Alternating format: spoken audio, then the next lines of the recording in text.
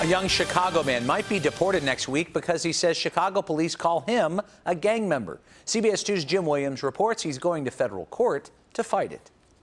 25 year old Luis Pedrote Salinas has been in Chicago since he was five, brought here by his parents from Mexico. I put my sweat in this city, I put my sweat in this country.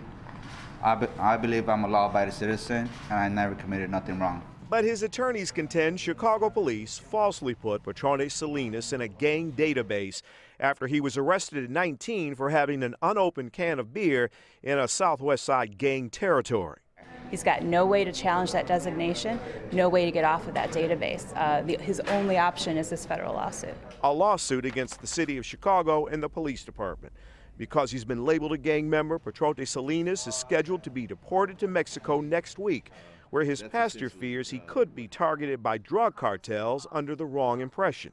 If the thought is that they're deported because they're gang members, because those deportations are taking place now, uh, then they move right away to recruit them. And if they don't join, they kill them. Pedrote Salinas is adamant he's never been in a gang. But when he was 16, he got an Aztec warrior tattoo, similar to this one, worn by some gang members. Did you know that it might have represented a gang, or was it, did you just like the design of it? I just like the design, yeah, you know. Pedrote Salinas' pastor says police superintendent Eddie Johnson himself said he would have the young man's name removed from the gang database, but never did it. The police spokesman told us the department does not comment on any pending litigation.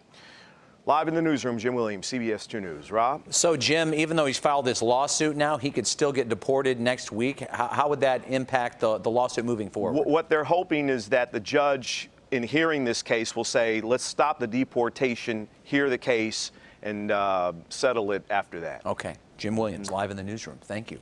Coming up.